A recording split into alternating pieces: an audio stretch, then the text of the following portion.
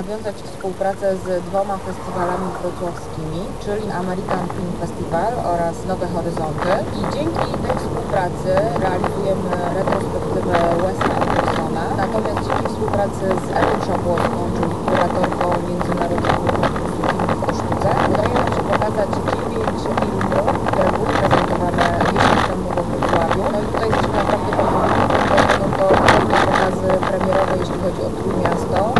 Przyjeżdża trochę gości, którzy poza tymi filmami, o których powiedziałam, tworzyli też dodatkowy program związany z projekcjami filmu wideo, wideoartu i nie tylko. Natomiast no, otwieramy bardzo mocnym akcentem. W czwartek film 20 tysięcy dni na ziemi, czyli dokument o Niku Cave